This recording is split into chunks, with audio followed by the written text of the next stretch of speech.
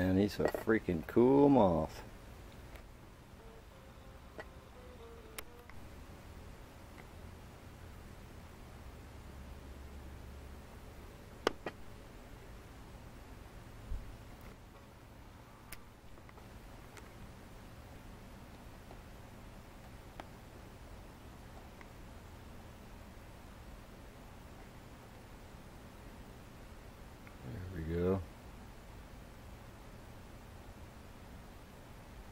Wild looking sucker.